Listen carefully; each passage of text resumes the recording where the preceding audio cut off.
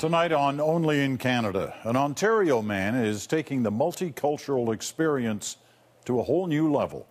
In Toronto, one of the most diverse cities on the planet, there's a movie reviewer who's a little different from the rest, and he's making his mark on one movie scene in particular. Aarti Pole has that story. It's opening night at this Tamil theatre outside of Toronto. Fans have lined up to watch the much anticipated Tamil film Vishwarupa. Before watching, many checked out the reviews online, and there's one reviewer who seems to be the most popular.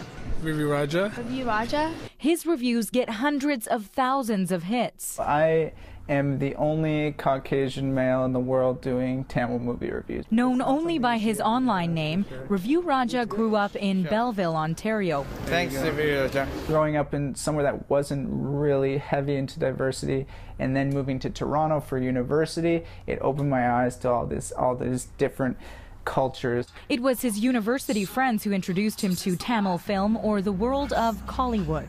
It's a completely different experience than what you'd be used to in a Hollywood movie.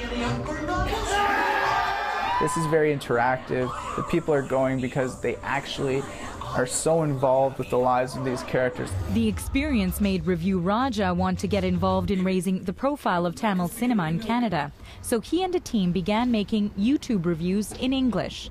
He reenacts the movie. We're about to review Samar. This and gives a critique. Within two months, the reviews had hundreds of thousands of views on YouTube. I've been following him religiously for uh, one, a month now. Review Raja is now a local celebrity in the Tamil community.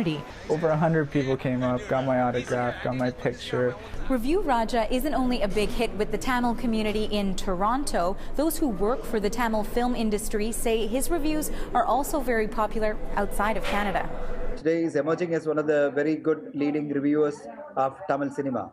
Movie producers in India say the boy from Belleville tapped into an untouched market abroad. There are a lot of people are doing a video review in Tamil, but they are not very popular compared to Review Raja's uh, reviews in English. Review Raja says he owes a lot of his success to the country he grew up in. Only in Canada will you be able to take on any culture you want. Aarti Pole, CBC News, Toronto. Only in Canada. If you've got an idea for Only in Canada, we want to hear from you. Just go to our webpage, cbcnews.ca slash only in Canada, to send us your ideas, photos, and videos.